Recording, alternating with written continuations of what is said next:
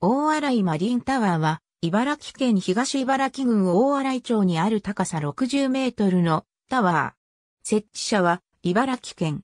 指定管理者制度により、大洗町が管理、運営を行っている。2019年3月より、港オアシス大洗認定施設である。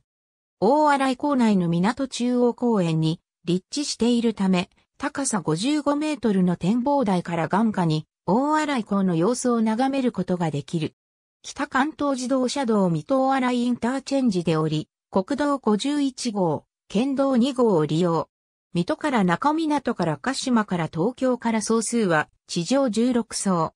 第2から13層は吹き抜けのため回数に含まれず、第14層が2回、第15層が3回となる。フェリーターミナル行きに乗車した場合、ツインチケットの使用も不可。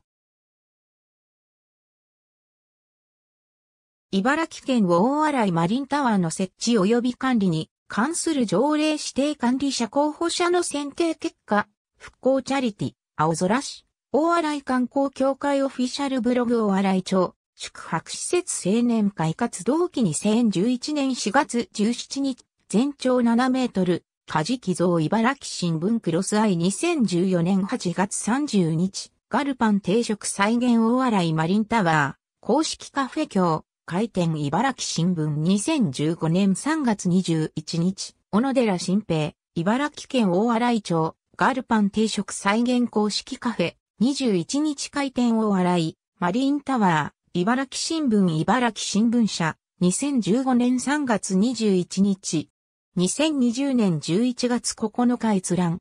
小野寺新平、茨城県大洗町、ガルパン定食再現公式カフェ、茨城新聞茨城新聞社、2015年3月21日、2020年11月9日閲覧。ありがとうございます。